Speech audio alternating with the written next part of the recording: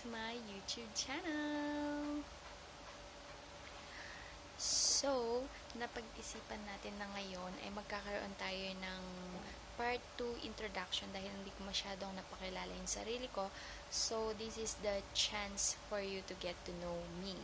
So, meron tayong mga question dito na galing sa iba't iba sa no actually galing siya sa Instagram na kinuha ko and then I will uh, answer a random question for you guys okay?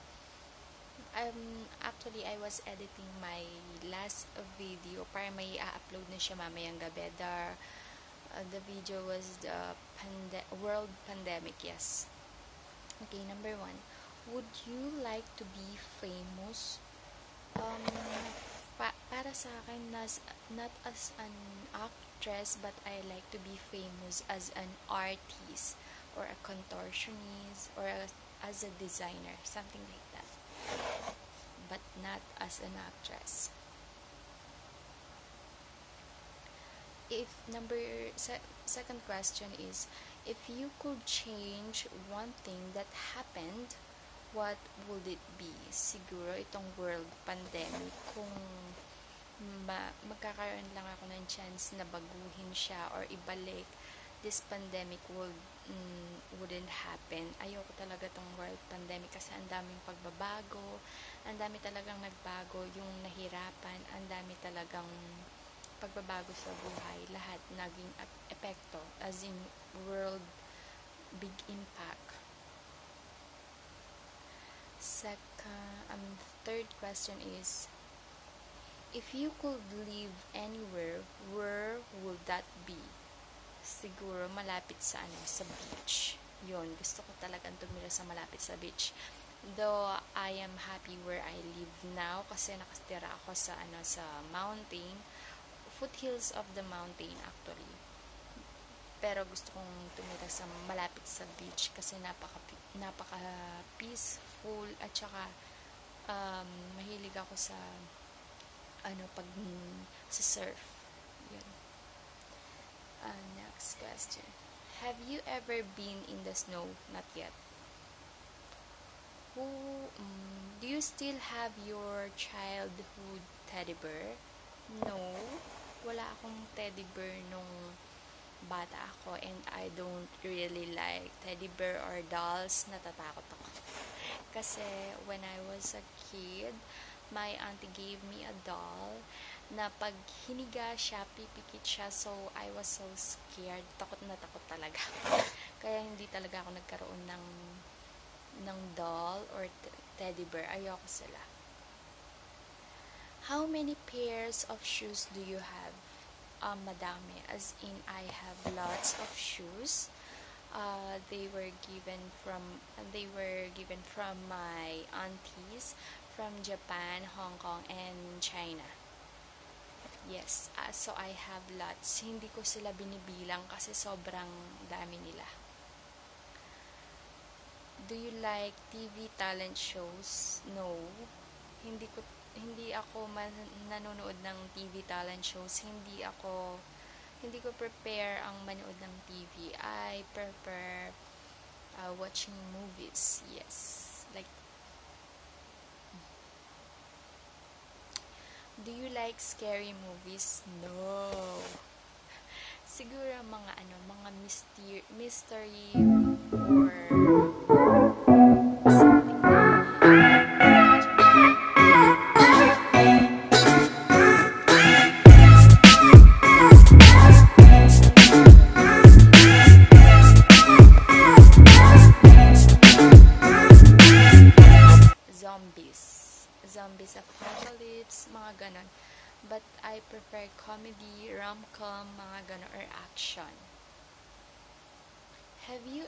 fired a real gun? Never.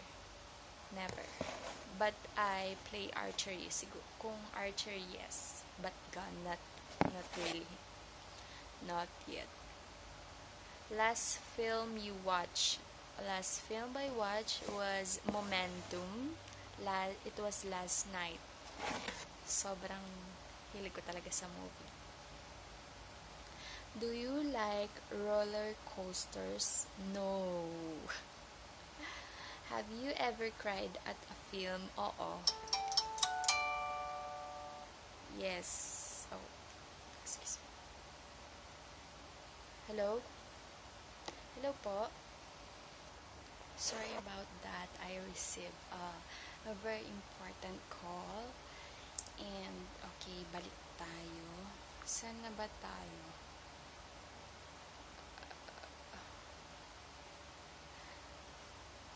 Nawala.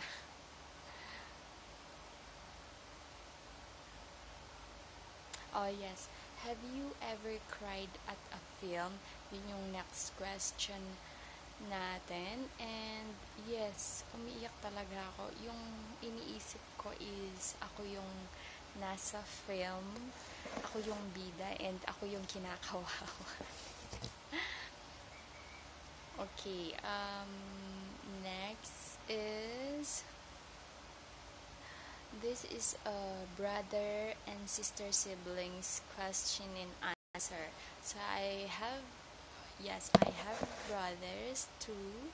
It's JB and the boy. They are 24 and 23. They live with my parents and okay, let's start. Did you get along as children? Yes, we were very close. As in in uh, until now we are still close, as in super close. They are taller than me and I'm older than them. What is your best childhood memory of your siblings? Siguro yung lagi nila akong pinapaiyak. Yun yung pinaka best memory kasi hindi ko nakakalimutan kasi after nila ako paiyakin and after nun uh, papatawanin naman nila ako. Uh, what is your favorite thing? What is your favorite thing about your siblings? Siguro yung uh, lagi silang maalalahanin and they are always taking care of me and they give and always give. Describe your sibling in three words or less. Um, funny and handsome and bully. Yung mga ganun. Do you have nicknames for each other? Yes, we have uh, nicknames for each other. Ako tinatawag nila Chin for Machin because um, sabi nila takot daw akong umakyat sa puno and they call me Machin. So, the um, yung naman bunso, tinatawag namin siyang Kit for parakeet. And then, yung sa gitna, yung sumunod tinatawag namin siyang La. As, mm, meron kasing memory about dun sa La na yun. It's confidential, so I'm not going to share it. Who always had the messiest room? Uh, yung bunso. Yung bunso. Siya lagi yung may pinakamakalat na room. What would you guess is your sibling's dream job? Yung ano, yung bunso namin gusto niyang maging doktor and yung pangalawa naman gusto niyang maging engineer, I guess. Which of you is the laziest? Yung pangalawa. Biggest lie your sibling ever told your parents? Ano ba? Naka, wala, hindi, hindi namin talaga sila pinagsisinungalingan as in nagsisinungaling kami for example uh, yung simple things lang pero yung malaking bagay hindi na talaga kasi natatakot kami kay papa. Magagalit siya pag pinagsinungalingan namin si mama. And do they like dogs or cats? They, mm, they like dogs better than cat. May aso kami nito sa bahay si Bucky. And yun gusto nila talaga sa dogs. Um, ang dami na naming naging aso pero never kami nagkapusa ayaw ni papa ng pusa sa bahay What is the age gap between you and your siblings? Ako, I'm 27 years old and yung sumunod sa akin is yung age gap namin ay, is 3 years and then yung sumunod is 1 year. Yung age gap nila, 1 year. So ako yung age gap ko sa kanila is 3 to 4 years. Describe each other in one word.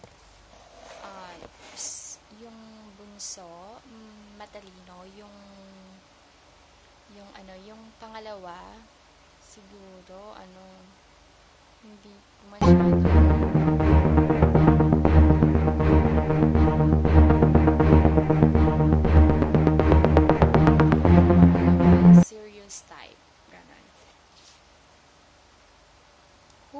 More chocolates? Yung pangalawa, si the boy.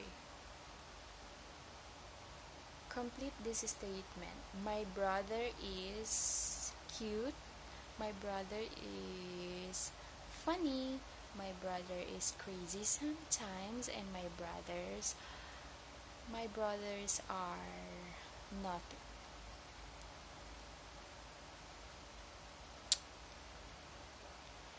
Wait, next questions is What is my favorite cafe?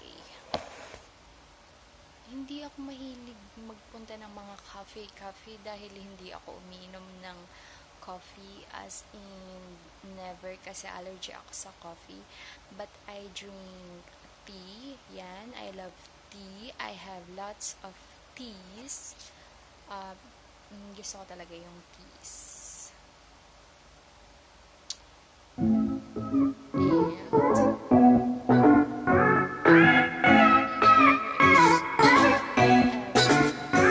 you ever exchanged your clothes with your cousins or friends? Nakipag-exchange na ba? Sa cousins, yes, but friends, um, hindi ko naaalala. Wala akong naaalala nakipag-exchange ako ng clothes. Big, siguro binigyan, meron. Pero exchange, hindi. Cousins, yes. Dahil wala naman akong kapatid na babae. Who, um, are you, are you active on social media? Am I active on social media? Instagram, yes. Messenger, yes. Um, siguro yun yung dalawa lang Instagram and Messenger. Face um, Facebook hindi masyado. Shares nagsishare ako ng mga thoughts or mga funny thoughts mga ganon pero yung nagbababad ng todo hindi. Never. Ba't ang liwanag? Natin ha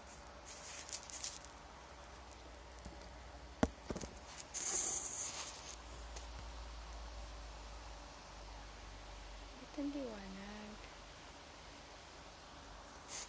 Yan.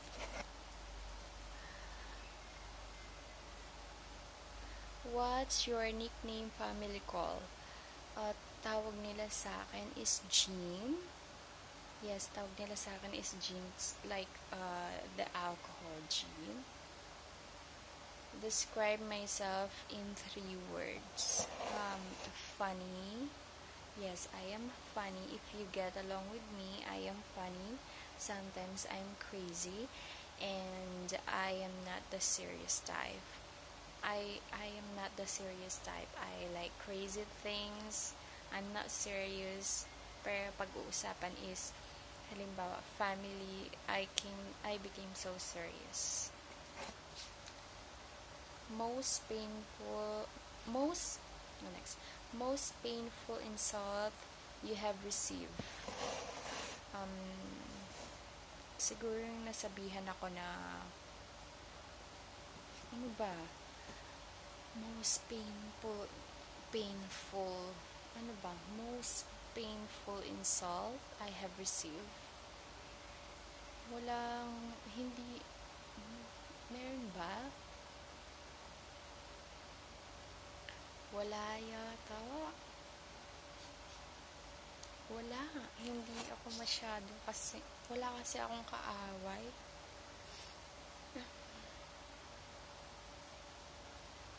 Are you most likely to cry in public?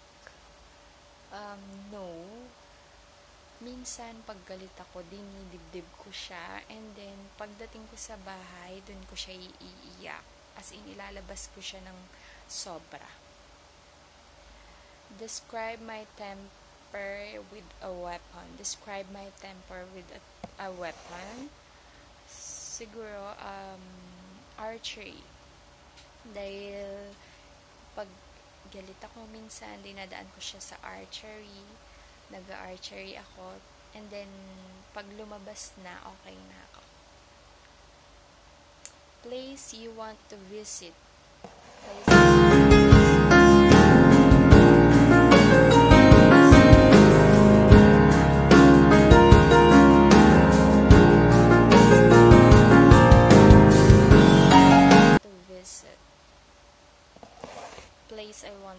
visit siguro.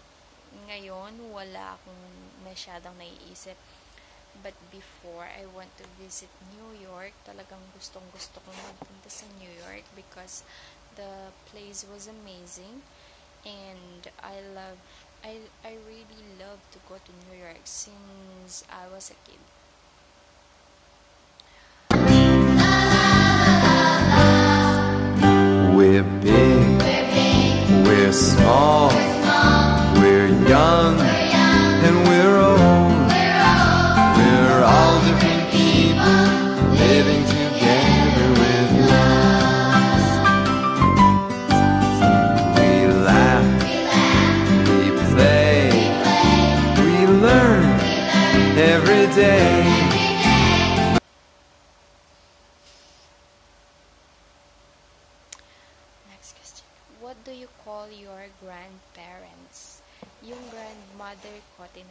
Ko siya na ma. And yung grandfather ko, tinatawag ko siya na tang because I grew up with them. Mm, they are the one who raised me. Sila yung nagpala, pa- nagpalaki sa akin since I was a kid. And tumira ako sa kanila, sa kanila mm, na parang ano, parang sila yung mga magulang ko.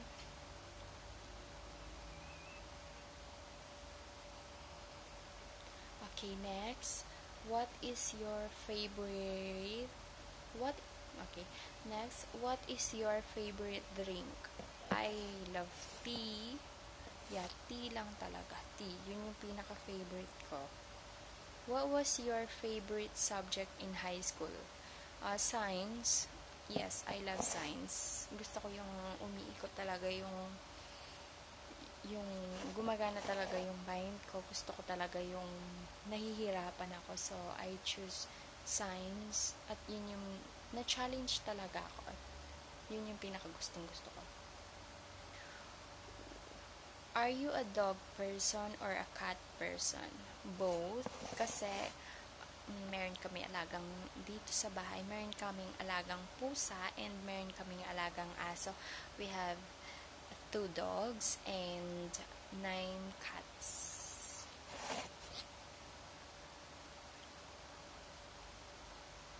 Who has left the most impact on your life? Meron na ba? Wala pa naman.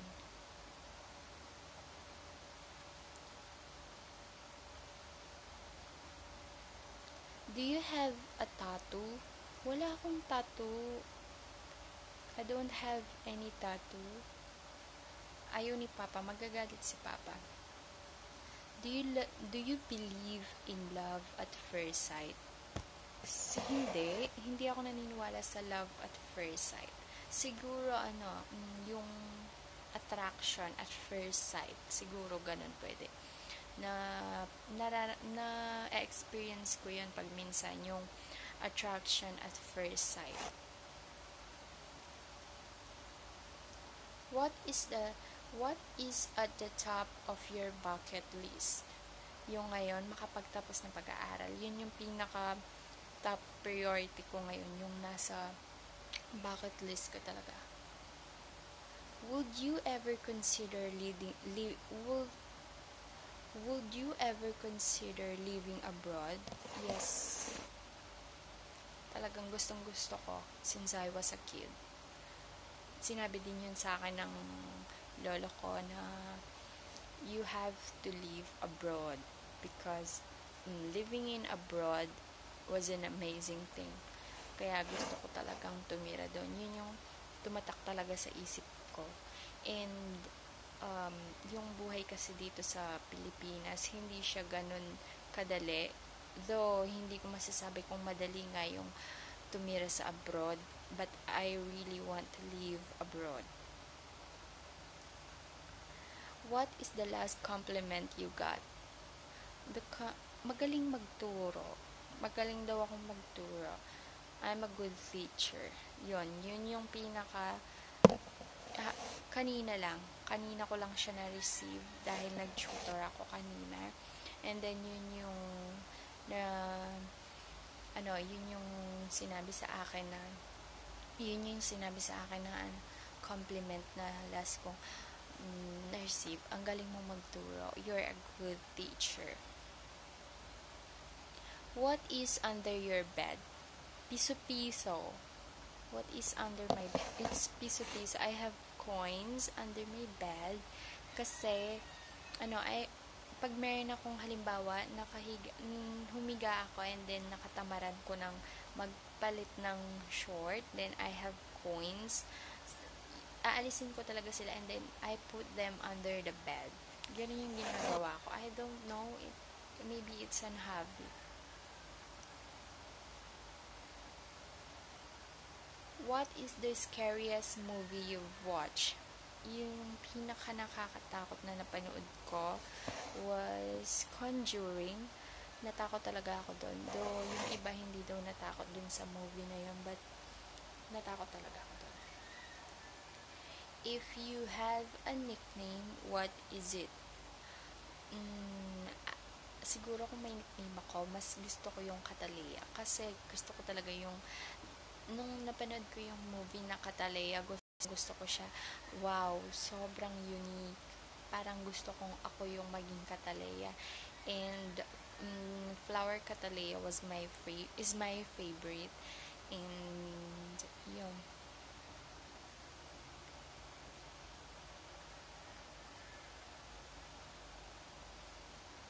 If you could pick one, Would you rather have infinite money or unending love? Unending love. Yun yung gusto ko. Kasi aanhin mo yung infinite money kung wala namang nagmamahal sa'yo, di ba? Siguro kung practical kang tao, kung yung isip mo yung pinagagana mo, infinite money yung pipiliin nila.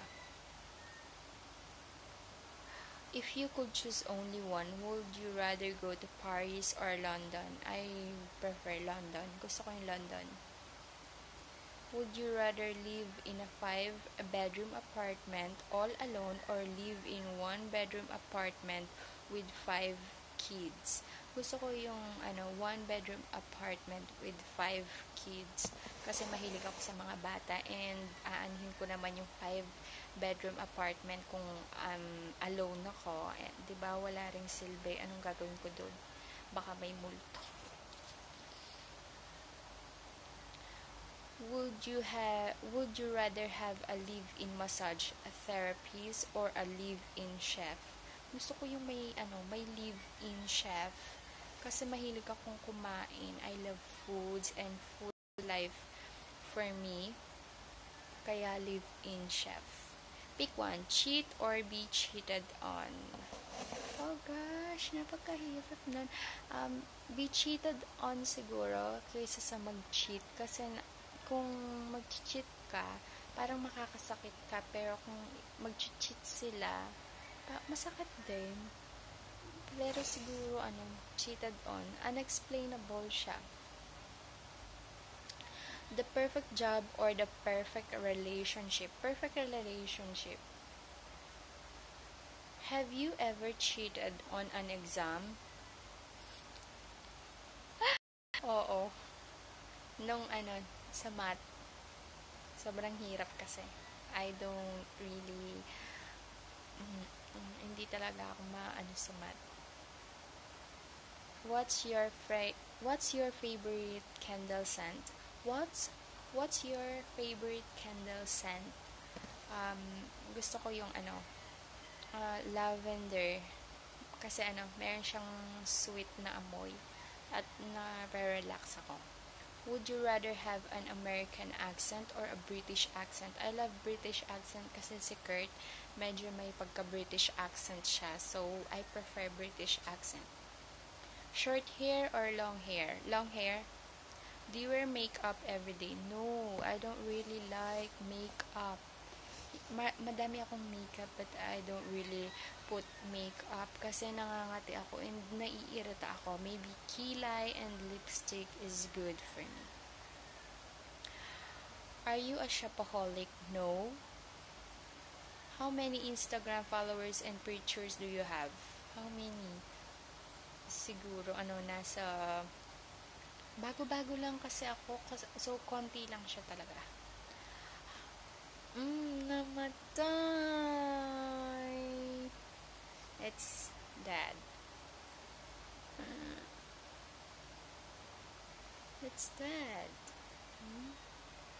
So guys, yes, ganun